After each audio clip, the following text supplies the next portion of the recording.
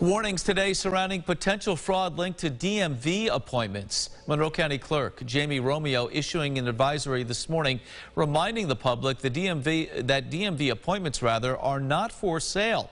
She says people are booking appointments at the DMV online and then attempting to sell them to others who are struggling with access to the DMV. Romeo says they consider this a potential fraud and have reported it to the Rochester office of the state attorney general.